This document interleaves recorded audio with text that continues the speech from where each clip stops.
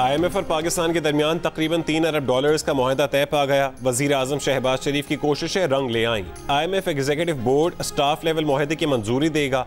Executive board का अजलास जुलाई के वस्त में होगा। स्टैंड बाई अरेंजमेंट के तहत पाकिस्तान को मुतव ढाई अरब के बजाय तीन अरब डॉलर्स मिलेंगे।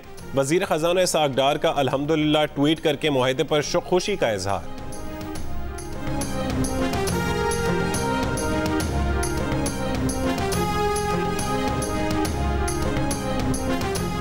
आई एम एफ़ का कहना है कि स्टैंड बाई अरेंजमेंट माहे से पाकिस्तान को बैरूनी ममालिक और मालियाती इदारों से फाइनेंसिंग दस्तियाब हो सकेगी। पाकिस्तान टैक्सेस की आमदन बढ़ाएगा, एक्सचेंज रेट को मार्केट के हिसाब से मुकर किया जाएगा तोानाई के शोबे में असलाहत की जाएँगी। वज़ीर अजम शहबाज शरीफ का इतिहादी रहनुमाओं को टेलीफोन आई एम एफ़ माहे मुल्क की मुआशी और सियासी सूरत हाल पर गुफ्तु बिलावल भुट्टो, मौलाना फजलरहमान हुसैन मक्सी, डॉक्टर खालिद मकबूल और एमल वली खान को ईद की मुबारकबाद दी।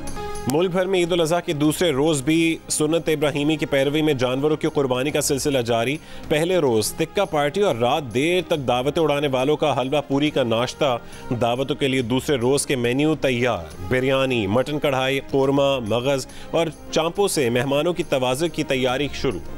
गुजरावाला के निजी हाउसिंग सोसाइटी में गाड़ी से चार अफराद की लाशें मिली हैं। लाशें पोस्टमार्टम के लिए अस्पताल मुंतकिल। पुलिस के मुताबिक मरने वालों की उम्र तीस से चालीस साल के दरमियान है।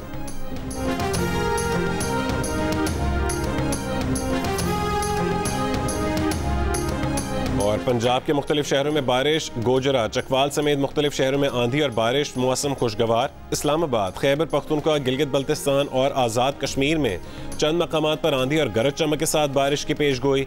बालाई खैबर पख्तूनख्वा में चंद मकाम पर मूसलाधार बारिश का इम्कान।